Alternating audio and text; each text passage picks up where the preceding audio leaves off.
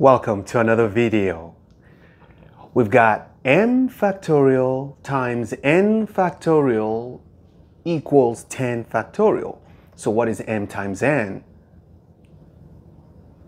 Well, don't try to figure out what the answer is unless you know it. The best thing to do is to break down 10 factorial and see if we can find two numbers that are factorials that multiply each other. Well, that might sound confusing, but that's what we have to do. You have to find two factorial multiplications from all the factors of 10 factorial. And definitely, since you know m and n are multiplying each other to get 10 factorial, m must be a number less than 10 and n also must be less than 10. So you don't have so many guesses, right? You can only guess between 2 and 9 in either case. Let's get into the video.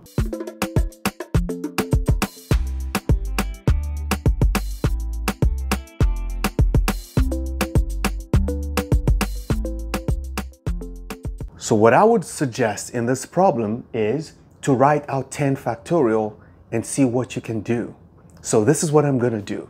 I'm going to say, actually I want to do it here.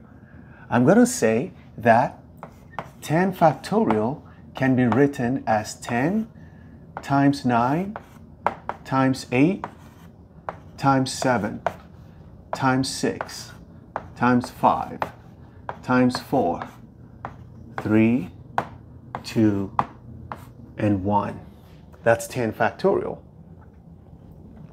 now remember that every factorial will have to build up right so my strategy in this case is to say this 10 factorial is the same thing as m factorial times n factorial, but we don't know what m factorial is. But one thing we're sure of is that, remember you can build your factorials from 1 up to the number or from the number all to 1, all the way to 1. So what we're going to do is every factorial has 1. So we're going to start from 1 and 1.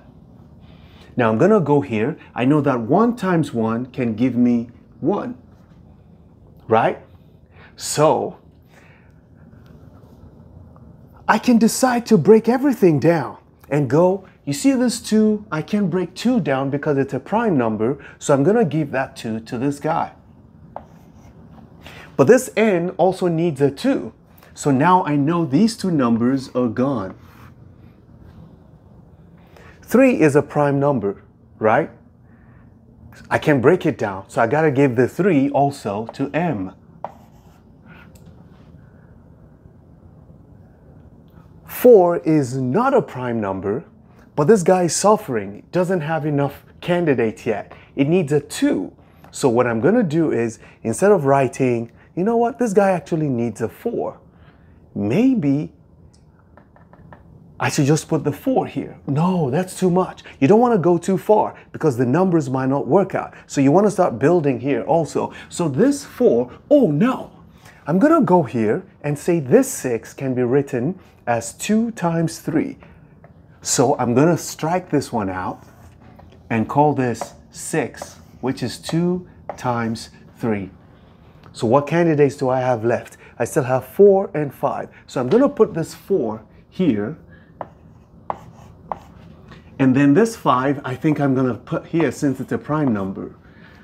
But don't go too far because I need a 4 for this guy and I see a 4 sitting here, right, inside 8. Or maybe I should take, yeah, I'm going to take a 4 from here. Let's see, maybe, I don't know.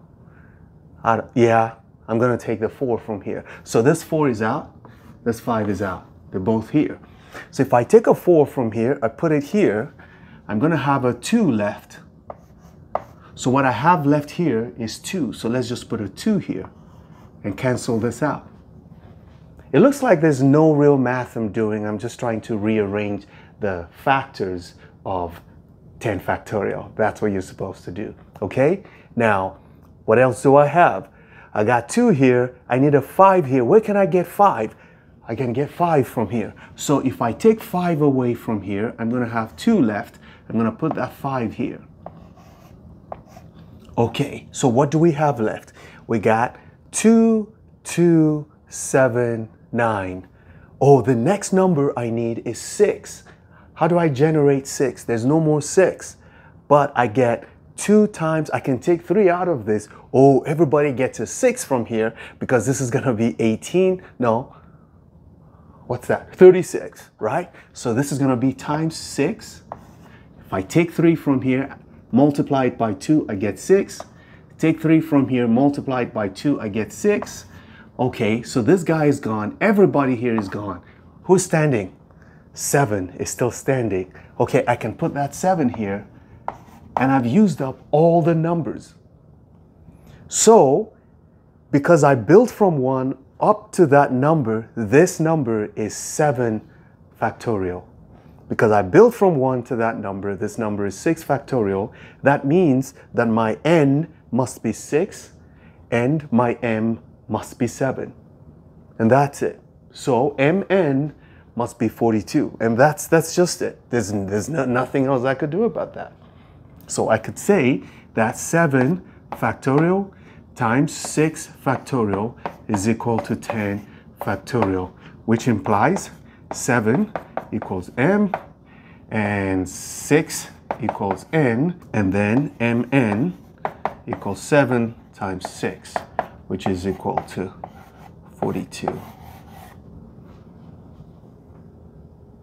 Never stop learning. Those who stop learning, stop living. Bye bye.